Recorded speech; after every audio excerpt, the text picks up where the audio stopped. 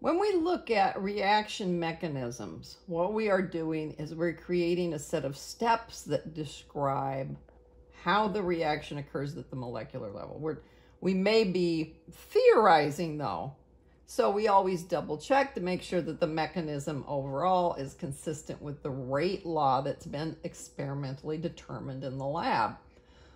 But here is an example, and it starts with an elementary step that includes a bimolecular collision. The two nitrogen dioxide molecules are colliding. They are forming an activated complex, which then continues on to form nitrogen monoxide and nitrogen trioxide. Now, the nitrogen monoxide is one of the things that is produced overall in the entire reaction the nitrogen trioxide does not appear in our normal chemical equation. It is an intermediate. It's going to get used up. In this case, it will now proceed to the second elementary step. In a unimolecular reaction, it simply comes apart.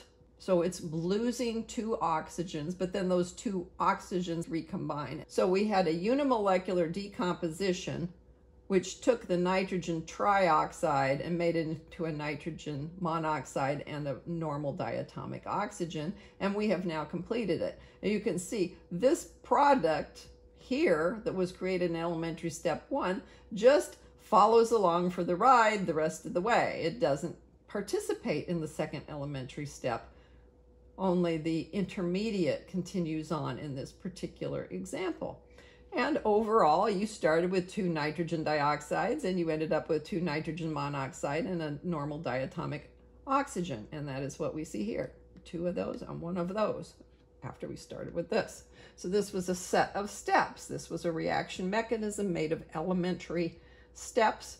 This consistency is really important because we have to match reality. Experiment is reality. You've done the experiment, you've seen the results. It doesn't matter how odd they are, you have to match them.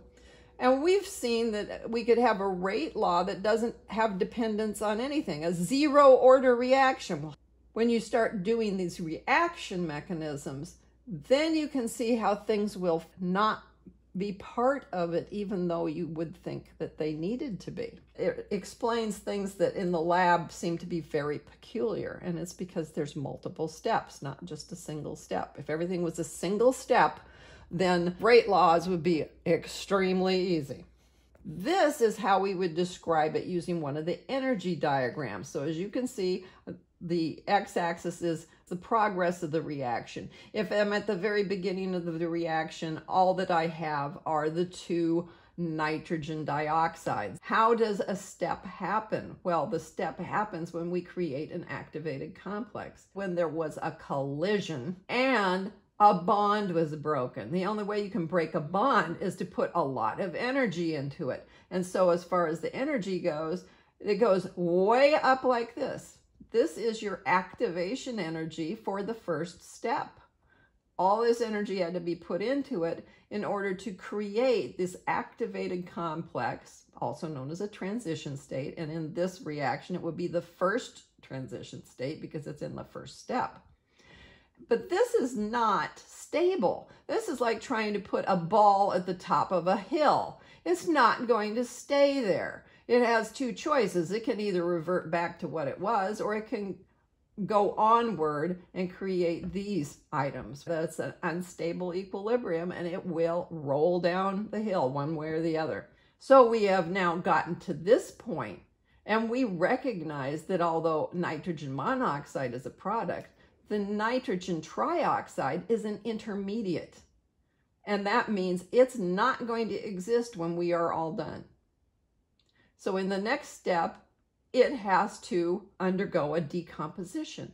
Now, that is also going to take energy because you're breaking bonds again. The nitrogen-oxygen bonds have to be broken. But because this stuff isn't very stable, it is relatively stable compared to this activated complex, but it's, it's not nearly as stable as our original was there's still plenty of energy around for it to take this jump up and decompose, forming a new activated complex transition state, which again is unstable. So these two oxygens that are alone form diatomic oxygen. It concludes, and you end up with your products. The number of hills is telling you how many elementary steps there are.